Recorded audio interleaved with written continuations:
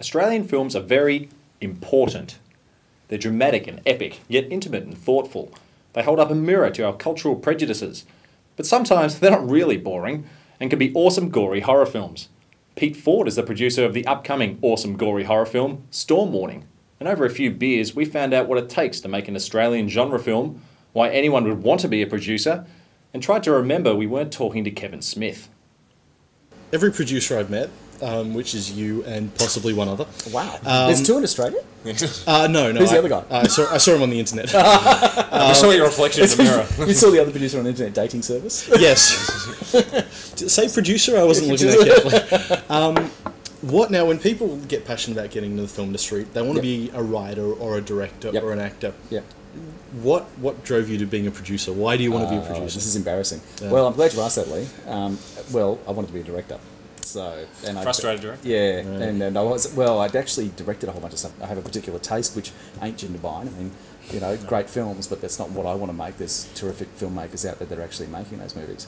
So I sort of came to this conclusion that I was. All my films had one thing in common. The direction was okay, the scripts were okay, but they were really well produced, and Yeah. that's what people were saying to me at the same time. That you know, they looked fantastic. You know, the production values were mind-boggling. So I suddenly realised that, you know, in the short term at least, I should maybe stick to what I, I know very well, which was producing, and decided to become a producer. So, Okay. and Storm Warning was my first feature film as a producer. I mean, I literally, um, I was in America in August. I picked up the script. We did the deal.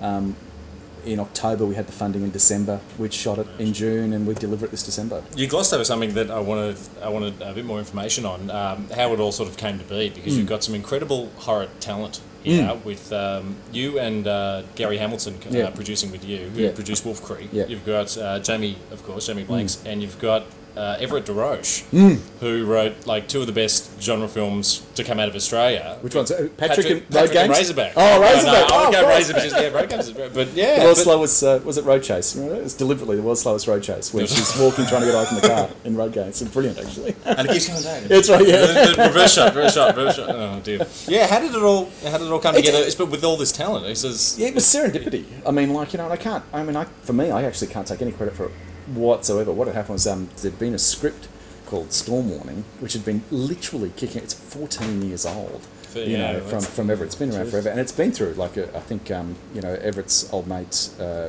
oh God, I'm embarrassing myself. Uh, who directed? Um, Richard Franklin. Yeah, Richard Franklin. Yeah. Richard Franklin had it for ages. Then it went to um, the guy directed Man from Hong Kong. Oh, Brian Uh, Trenchard Brian Trenchard Smith had it. That's you my know. boy. Yeah, I love Brian There you Trenchard go, Smith. thank you. Leprechaun three and four. Yeah, oh my god. And Leprechaun five in you know, space. I think he makes more movies. Than, Jamie was telling me he makes more movies than director at the moment because he turns out a movie every two weeks for television right now. He's insane. director. He's, amazing. Absolutely. I got the Man from Hong Kong original poster. oh really? Yes, oh I do, yeah. See, I reckon that's up for a remake. oh, absolutely. There we go. It my idea. Just right now. Here's the pitch. Um, so the script had been through a lot of hands, and it had literally just come into Gary's hands, um, and he decided to option it at the time. And I think with the intention that uh, Gary had said that he'd wanted to do a film, and he had been thinking about doing a film with Jamie for quite some time, even though Jamie had been out of the picture. So um, that's when I entered the scene, and literally he gave me the script and said, "Would you be interested in doing something together based on the stuff that I directed in the past and produced in the past?" And um, I knew Jamie because Jamie uh, actually used to edit for me corporate videos and television commercials before, Oh, yeah. before he did the American thing. So he was a freelancer and freelance guy. I remember when he was hope trying for to. us all. Yeah, well, that's right. So let me ask you: Are we going to see the DVD box set, the Pete Ford, Jamie Blanks uh, three film thing, which is like two corporate videos and Storm Warning? Because I would buy that. would you buy that? I would Uh, buy Yes, I would rent Maybe. that. I'd lend him. I would steal that. I'd love, I'd love Jamie to actually put on a. Oh, I'm not asking this question. I do have a couple of good Ford and Holden training videos you might like, Lee. yeah, especially Yeah? the Rodeo one. Yeah. Nice. One ton One ton Rodeo. Oh, that was you guys. That's right. Um, so, anyway, so anyway, I've got my next question.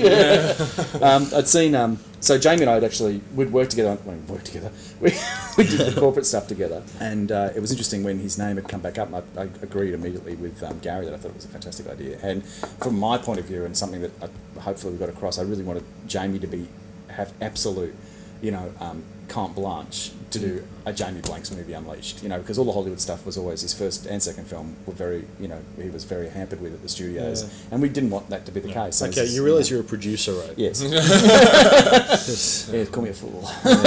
no, it's worked well. So I mean, on this one, it's you know within the, the confines of the budget, um, and the shooting schedule, which was grueling for him. Um, you know, to create something which, you know, really had the possibility of being the closest thing to a, a true JB film. You know, and, and I think we got there. I mean, I'm, I'm hoping he'll think that way. Do you see um, genre films as like a means to an end uh, in order to make you know the personal films? No, I'm a child of Star Wars, dude. Are you you're Yeah, happy no, to no, no, wallow I- in this for the mate, rest I, of your I, career? I love it. Yeah, wallow is not the right word I would use. No?